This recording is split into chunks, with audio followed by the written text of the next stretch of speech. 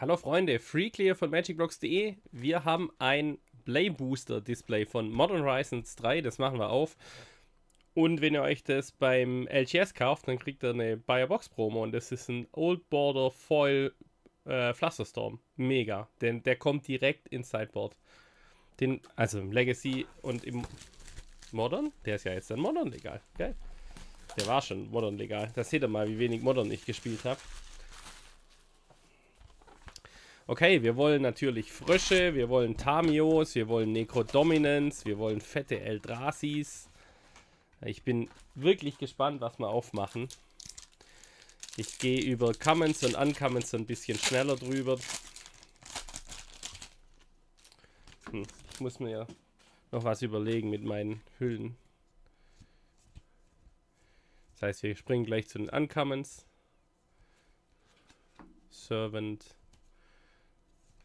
Der Engel als neuen Modern. Okay, und unsere, wir haben zwei Rares, die Strix. Ich weiß nicht, ob der Counterspell gut ist, aber wir nehmen ihn mal mit. Und Devour of Destiny. Der ist, glaube ich, ganz cool. Und unsere Foil ist ein Copy Crook, der neue Klon. Ja, wie sieht's aus? Habt ihr schon Format gespielt? Wie gefällt's euch? Ich habe jetzt schon ein bisschen Limited gezockt und das hat eigentlich echt Bock gemacht. Also, das Set ist echter Banger. Ich habe leider immer noch ein bisschen, bisschen Angst, was es mit meinen Formaten macht. Ich finde die Dual Lens nebenbei super geil. Shrieking Drake, den braucht keiner. Oh, Harbinger of the Sea. Der Magus of the Moon quasi für Islands. Sehr geil. Und wir haben Wing It als Foil. Und Phyrexian Germ.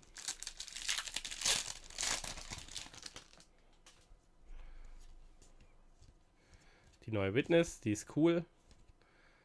Äh, Sultailand finde ich gut natürlich. Dann haben wir Hydra, ein Waste.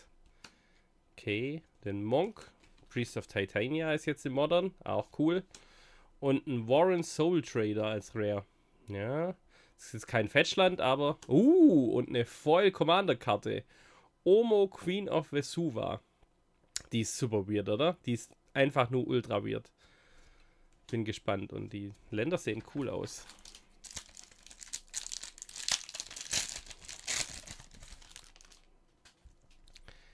Nochmal eine Witness. Das ist halt eine Common. Das ist einfach eine gute Magic-Karte. Eine gute Magic-Karte. Rouge und Violet Symbiot, auch cool. Eldrazi Linebreaker. Da, ja, naja, ist nicht der geilste Hit. Mit dem fangen wir wahrscheinlich nichts an.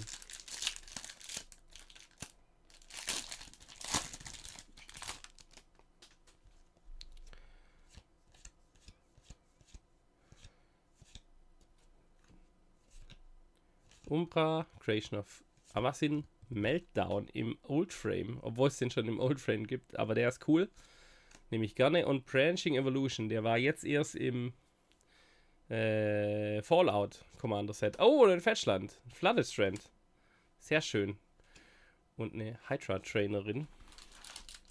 Flooded Strand, Fetchländer kann man immer brauchen.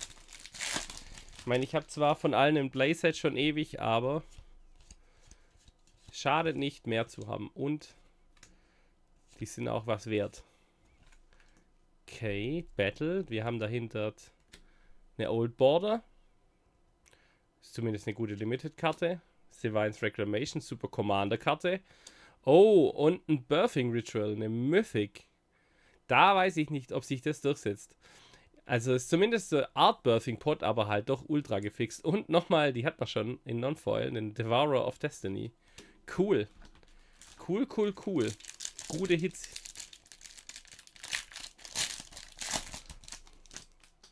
Fetchland ist natürlich immer ein schöner Hit für so ein, für so ein Produkt. Überhaupt, wenn, das, wenn, wenn so Sets Fetchländer, Schockländer drin haben, das, das macht es einfach spielbarer. Den finde ich geil. Der kommt auf jeden Fall in Foil in meine Commander-Decks. Der ist doch super geil. Ein Dual-Land ist einfach ein 6-5 Das Victimize im Modern finde ich auch super stark. Sehr coole Karte. Und den Storm Removal. Auch eine weirde Karte. Uh, und Foil Tune the Narrative. Sieht schön aus, sieht echt schön aus. Und noch ein Voll Mountain. Da weiß ich schon, wer den in die Hand gedrückt bekommt.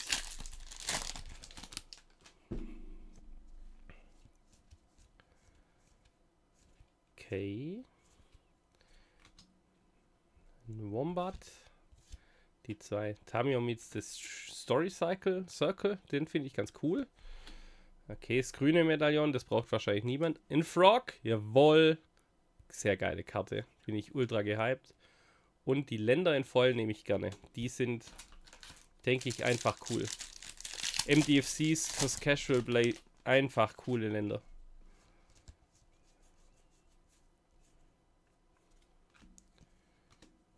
Da ist wieder der Simic.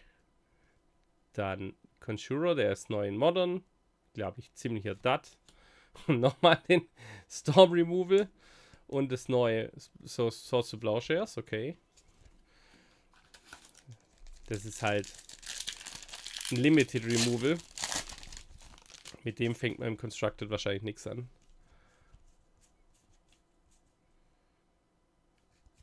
Okay. Jetzt bin ich schon zu weit.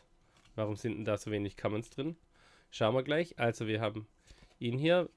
Charitable Levy finde ich super starke Karte fürs Commander. Der Monk ist auch gut. Und wir haben eine Commander-Karte, eine Mythic. Ulalek, das ist der Face Commander vom Eldrazi Deck. Sehr cool. Wir haben eine Priest of Titania, die ist auch sehr cool. Und eine Necrodominance in Old Borders, sehr geil. Die brauche ich auf jeden Fall. Mega geil. Die kommt darüber. Okay, und noch eine Artkarte unterschrieben. Die behalte ich auch mal. Gibt ja Leute aus der Community, die sammeln sowas.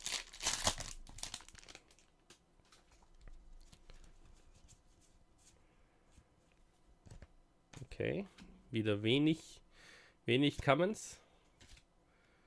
Den fand ich im Limited super stark.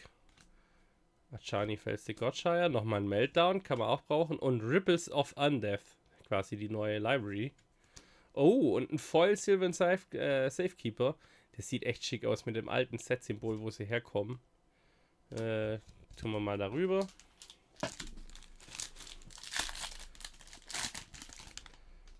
Habt ihr euch schon Einzelkarten gekauft oder rübt ihr Produkte? Ich vor allem, falls euch, ähm, wir haben ja auch Shorts jede Menge von ähm, Collector Displays oder Collector Boostern. Die Genesis, die finde ich auch cool. Den finde ich im Limited. Der Wayscape Battle Mage, der ist so gut. Ja, der Dragon ist halt Müll. Und Thief of Existence. Der ist doch auch eigentlich ganz geil. So um den kann man rum mal spielen. Der neue Gravedigger, der sich nicht mehr loopen lässt. Als man.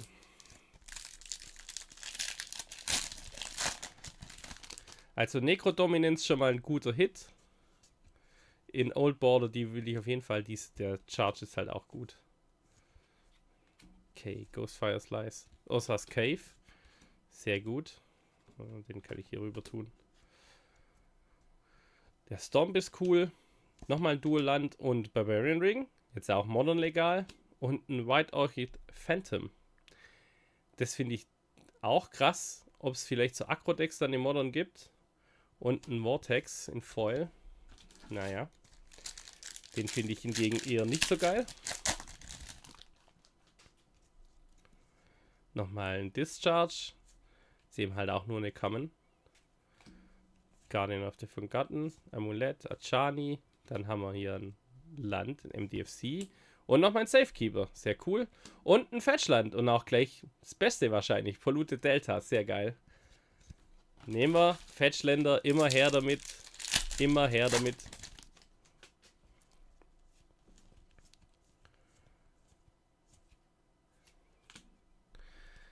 Der Path ist ziemlich stark.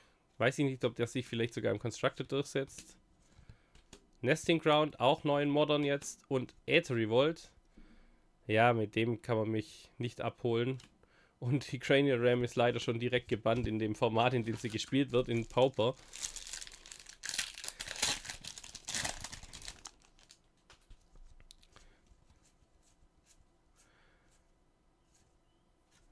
Okay, Consuming Corruption. Ah, cool. Unsere Preview-Karte, eine davon. Im DFC, die kommen raus. Meteoric Maze geht so. Und den Nantuko, den finde ich auch eher so mittel. Familiar, naja. Okay, kein guter Booster. Come on, Tamios.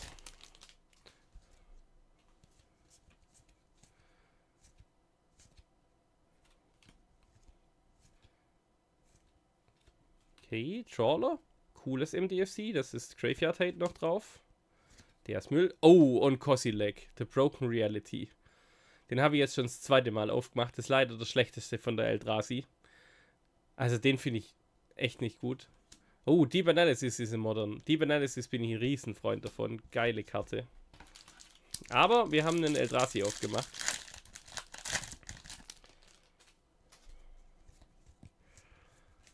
Das will man ja im Eldrazi-Set eigentlich, sind wir mal ehrlich. Ich hätte gern Emrakul aufgemacht.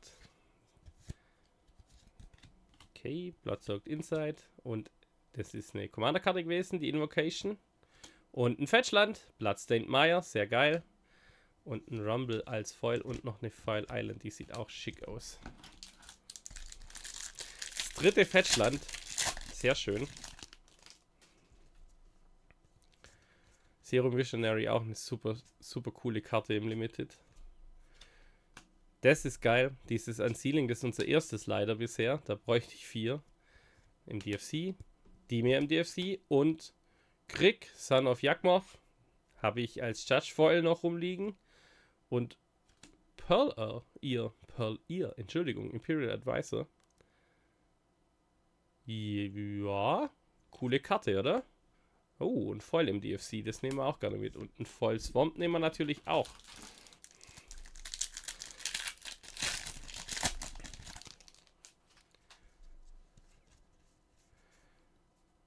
Also diese Länder finde ich wirklich cool. Überhaupt dies, alle Land Cycles in dem Set finde ich einfach cool, muss ich gestehen. Oh, ein Prismatic Ending. Das ist jetzt leider nicht, leider nicht den Special Guest, den man haben will. Da will man eine Endurance haben oder eine Solitude und nicht die Kammern oder die Ankammern, was es war, die jetzt dann müffig ist. Chardeux, kein guter Hit. Buried Alive. Und Genku, der ist leider auch Müll. Und den Emissary of Soulfire haben wir als Foil. Schade, schade. Wir hatten einen Special Guest drin, aber leider wahrscheinlich mit den schlechtesten, den man aufmachen kann. Zumindest ist es eine spielbare Karte. Aber in der, die gibt es leider als Old Border. Was heißt leider? Die gibt es als Old Border. Meltdown nochmal. Und Nadu, der ist cool. Den brauchen wir auf jeden Fall. Sehr starke Karte. Ein Bounce als Foil.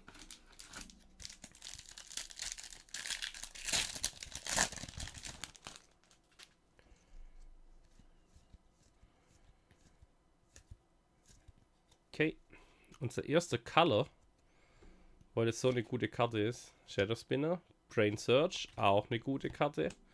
Null Elemental Blast auch, Reefworm hingegen nicht. Und ein Flare, das erste Flare, das wir aufmachen, das ist das rote. Buh! Und Decree of Justice, das jetzt ein Ankommen ist, das ist auch völlig abstrus.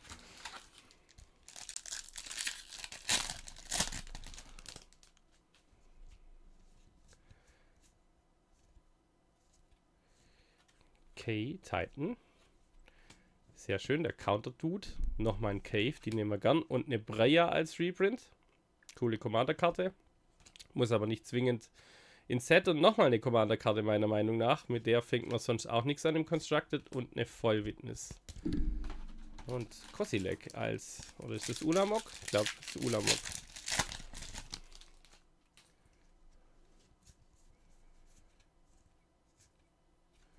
Okay, Emrakul's Messenger. Wir haben Essence Reliquary.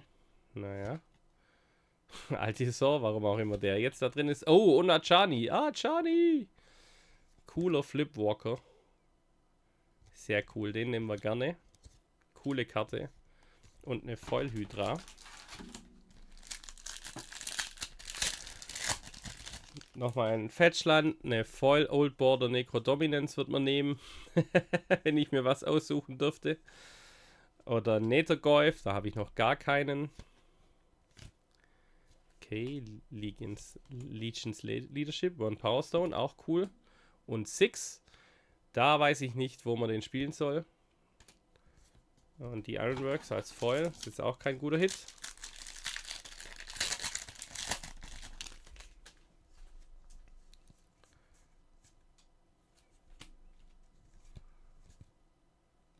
Okay, Annihilator. Eldrazi. Fürs Limited. Nochmal ein Deep Analysis. Und eine Disruptor Flut. Uh, noch ein Foil Eldrazi. Nicht die geilsten Hits. Aber noch haben wir ein paar Booster, um nochmal richtig, richtig Money aufzumachen. Okay. Hunger Tides. Mockbob. Oh, ein Kolosseum. Guter Reprint. Und nochmal ein Fetchland. Sehr schön, Dankeschön. Wooded Foothills. Und ein Master the Departed. Jo, ich mache hier mal. Ich muss mal meinen Stapel umbauen, dann kann man's und dann kann man's.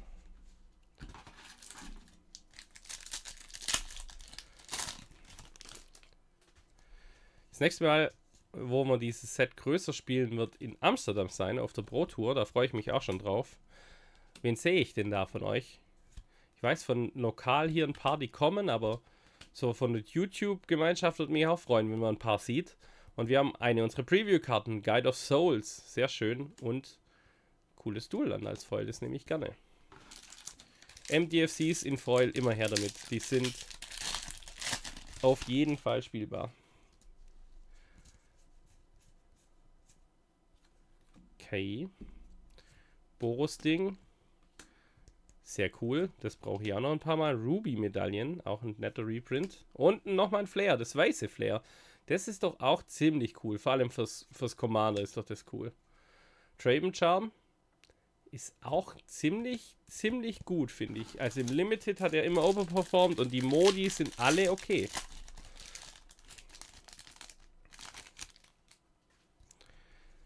Ist leider außerhalb des Fulltime-Farben, deswegen bin ich da echt nicht der Experte dafür, aber da haben wir nochmal ein Flash Coatle. Die erste Bauble, die wir aufmachen, das Display ist fast zu Ende und wir haben die erste Chase Ankamen aufgemacht, die Bauble. Felde Profane, auch das erste. Super stark. Nightblade ist auch okay. Und ein Felia. Der kleine Corgi. Und wir haben ein Foil-Land. Foil-Cycle-Land, allerdings in Absan.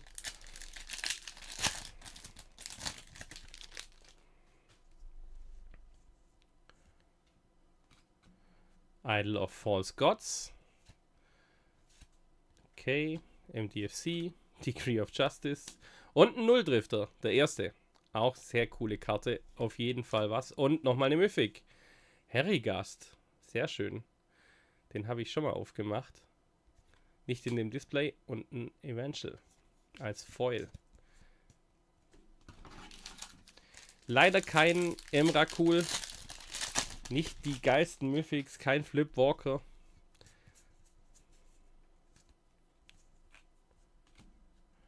Removal, Rall, okay, Sync. Ein Pearl-Medaillen, kann man machen. Und das neue Wheel, das ist glaube ich Müll.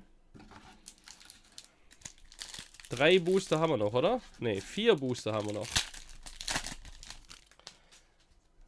Da kann noch eine Voll Grief drin sein, bevor sie gebannt wird oder so. Okay, Breaker of Creation. Mindless Conscription. Vortex. Master. Junk Diver, auch neue Modern.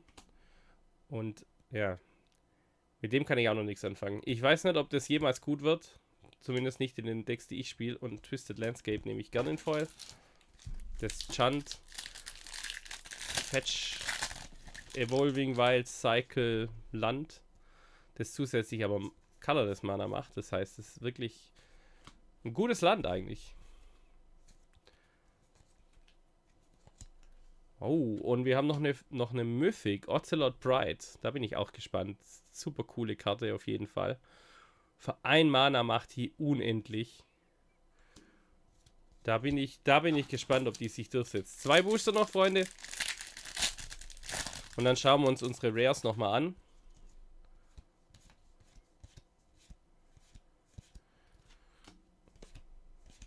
Okay, Defiler, One Power Stone, auch cooler Reprint. Und nochmal einen Ocelot Bride, ja, jetzt kein Emrakul, dafür zweimal dieselbe Mythic. Uh, ein Snapping Void Craw, den nehme ich. Und ein Foil Forest. Letzter Booster.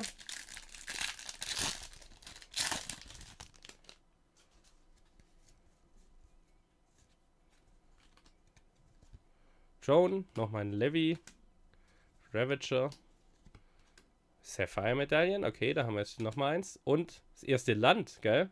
Das erste aus dem Land-Cycle, das wir aufgemacht haben. Die Hensch, hinten dran ist noch Müll. Jo, das war's.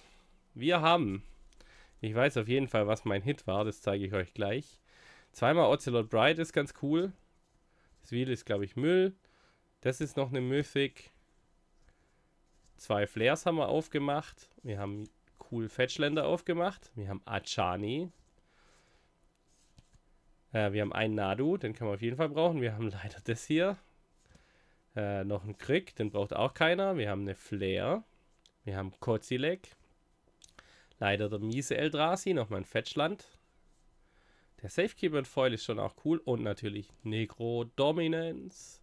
Wir haben den Eldrazi Commander, der ist glaube ich auch ganz cool. Wir haben einen Frog. Nochmal Ding. Birthing Ritual. Stimmt, das habe ich vergessen im Extended Artwork. Flooded Strand. Und noch die Omo Queen. Da bin ich auch gespannt. Vielleicht baue ich da auch ein Kommando drumrum. Und ein Harbinger.